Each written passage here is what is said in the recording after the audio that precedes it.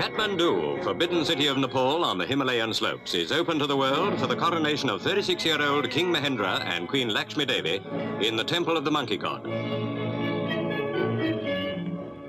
The Earl of Scarborough sits next to Chinese Deputy Premier Ulan Fu.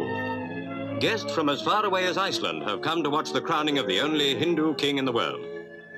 The moment of crowning is 10.43 a.m. exactly chosen by the royal astrologers as the most auspicious for a peaceful and prosperous reign. Outside the temple, richly appareled elephants wait for the royal procession through the streets of Kathmandu.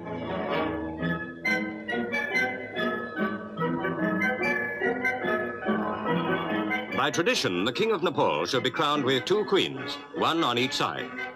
But for all the feudal magnificence of Nepal, King Mahendra has 20th century ideas. He is the first of his ancient dynasty to refuse to marry twice.